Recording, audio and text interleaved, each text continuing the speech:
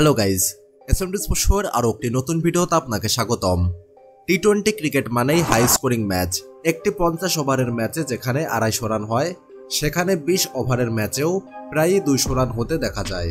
Franchise লিগগুলো আন্তর্জাতিক T twenty ক্রিকেটের জনপ্রিয়তা আরও বাড়িয়ে দিয়েছে। পাশাপাশি তরুণ দর্শকদের বিনোদনের জন্য রান করা যেন আরও বেশি গুরুত্বপূর্ণ। বাংলাদেশ আন্তর্জাতিক টি টোয়েন্টি ক্রিকেটে রান করার দিক থেকে কতটা সফল? এই ভিডিওতে আমরা দেখে নেব আন্তর্জাতিক টি টোয়েন্টি ক্রিকেটে বাংলাদেশের সর্বোচ্চ রান করা পাঁচটি ম্যাচ। ভিডিওর মূল প্রসঙ্গে যাওয়ার আগে সবার কাছে একটা ছোট অনুরোধ, সবাই সাবস্ক্রাইব করে পাশে থাকা বেল আইকনটি অন করে দেবেন। বাংলাদেশের আন্তর্জাতিক টি টোয়েন্টি ক্রিকেটে পঞ্চম সর্বোচ্চ রান, একশো তিরানব্বই রানে পাঁচ উইকেট। ম্যাচটি হয়েছিল শ্রীলঙ্কার বিপক্ষে। পঞ্চম সর্বোচ্চ রান যেখানে দুইশোর কম, অর্থাৎ বাংলাদেশ এখনও আন্তর্জাতিক ক্রিকেটে মাত্র পাঁচ বারো দুশো রান করতে পারেনি। এই ম্যাচটি হয়েছিল মিরপুর শেরিবাংলা জাতীয় ক্রিকেট স্টেডিয়ামে পনেরো ফেব্রুয়ারি দু হাজার আঠারো সালে। ম্যাচটিতে বাংলাদেশের হয়ে সর্বোচ্চ রান করেছিলেন মুশফিকুর রহিম। তিনি চুয়াল্লিশ বলে ছেষট্টি রানের ইনিংসটি খেলেন। সৌম্য সরকার করেছিলেন একান্ন রান, বত্রিশ বলে। মাহমুদুল্লাহ রিয়াদ একত্রিশটি বল খেলে তেতাল্লিশ রান করে।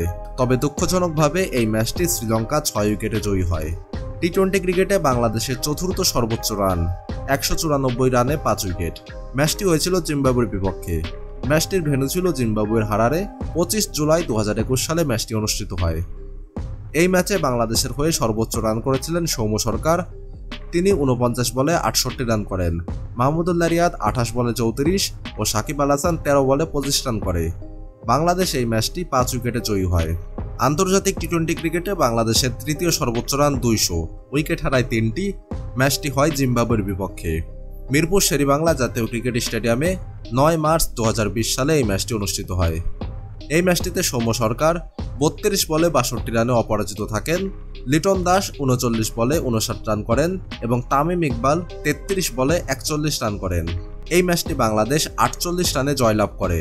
টি টোয়েন্টিতে বাংলাদেশের দ্বিতীয় সর্বোচ্চ স্কোর দুশো এগারো রানে চার উইকেট, ওয়েস্ট ইন্ডিজের বিপক্ষে। ম্যাচটির ভেন্যু ছিল মিরপুর শেরিবাংলা জাতীয় ক্রিকেট স্টেডিয়াম। ম্যাচটি অনুষ্ঠিত হয় বিশ ডিসেম্বর দু হাজার আঠারো সালে। এই ম্যাচে বাংলাদেশের হয়ে সর্বোচ্চ রান করেন লিটন দাস, চৌত্রিশ বলে ষাট। দ্বিতীয় সর্বোচ্চ রান মাহমুদুল্লাহ রিয়াদের, একুশ বলে তেতাল্লিশ রান আউট। সাকিব আল হাসান ছাব্বিশ বলে বিয়াল্লিশ রানে অপরাজিত থাকে।